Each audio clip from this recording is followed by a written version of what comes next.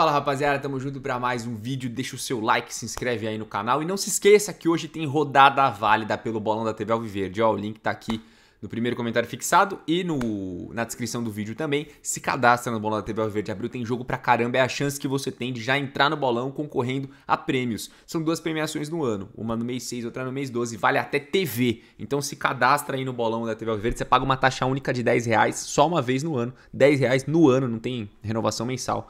E aí você brinca com a gente, ajuda a TV Alviverde e também concorre a prêmios, beleza? Então espero você lá no bolão. Rapaziada, o Palmeiras estreia hoje contra o Cuiabá, mas eu queria trazer é, algo diferente aqui. Eu vi uma matéria no GE sobre o Flaco Lopes e sobre essa volta por cima que ele vem dando aí.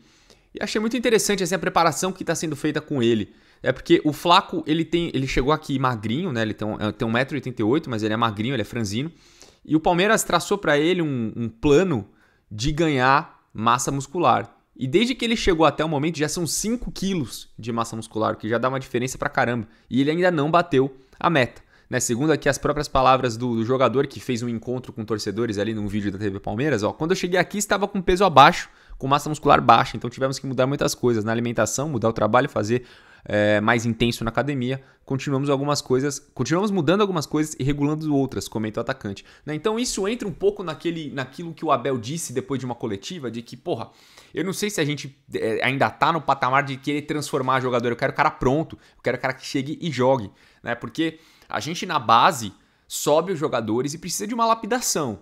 Né? Os jogadores precisam passar por uma adaptação, até começarem a render no futebol e tudo mais. E quando o Palmeiras contrata, ele também tem contratado muitos jovens, né? Era a crítica que a gente fazia. Porra, por que, que não olhar para jogadores com um pouco mais de, de, experiência, com um pouco mais de rodagem, com um pouco mais de idade até? Como é o caso do Arthur. O Arthur vem pronto, você não precisa ensinar pro Arthur como você quer que ele jogue. Mas já no caso do Navarro e do Flaco, são dois jogadores de 22 anos. E o Flaco ainda vindo do futebol argentino. O Flaco é uma grande promessa do futebol argentino, mas Desculpa, com todo respeito, hoje é uma coisa jogar na Argentina e outra coisa jogar no Brasil. O nível é muito diferente, é por isso que eu acho até que os brasileiros vêm dominando o cenário sul-americano. Então jogar aqui é mais difícil. E o Flaco tem passado por uma adaptação que envolve ganhar massa muscular, passar, obviamente, por, por é, treinamentos táticos e técnicos específicos e também aulas intensivas de português.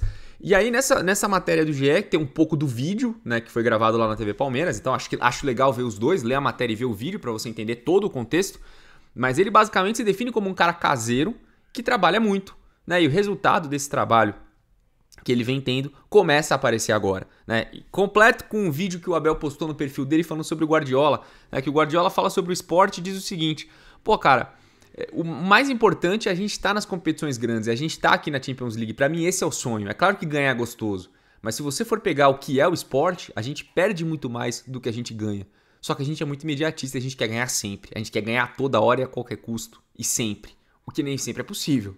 Ele até cita o Michael Jordan, que jogou 16 temporadas de NBA e só ganhou 6, ou seja, ele perdeu muito mais do que ele ganhou.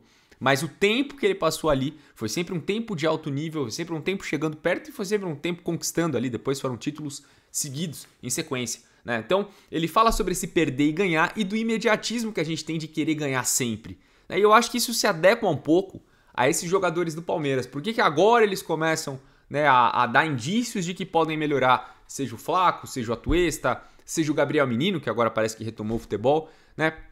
Justamente porque a nossa cobrança por ganhar sempre e a qualquer custo, eu acho que às vezes a gente cega um pouco para alguns, alguns fatos e, e, isso traz uma, uma cobrança excessiva. Ou, ou, ou, se não excessiva, talvez até um pouco precipitada. Porque hoje qualquer derrota já é um, um inferno que a gente cria. Né? A, gente, a gente que eu digo assim, como, como, como torcida, o Palmeiras ele se acostumou tanto a vencer que qualquer derrota parece que é algo muito maior do que necessariamente é.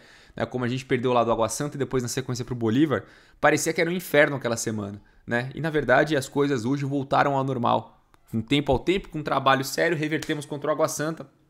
Agora encaminhamos bem uma situação na Copa do Brasil, podemos estrear mais tranquilos no Brasileiro e depois é, tem um jogo de Libertadores para recuperar, né? Que é o que está faltando agora, só recuperar na Libertadores. Enfim, eu acho que as críticas que a gente fazia a, ao perfil de contratados pela diretoria, ela era justa, né? Porque olha o tempo que esses jogadores levam para começar a dar algum retorno para você olhar e falar, porra, olha, agora pode ser que vá, né? Mas olha o tempo de, desde o ano passado até agora. Foi todo esse tempo de lapidação. Então eu acho que isso serve de exemplo para sequência. Né, para a sequência de, de, de, de, temporadas do Palmeiras, que é muito legal você trazer jogadores jovens, apostar na sua base, lapidar talentos dentro de casa, mas também é importante contar com experiência. Né? Enfim, acho que eu tentei fazer um apanhado geral aí de todo esse contexto do Palmeiras nesses últimos anos.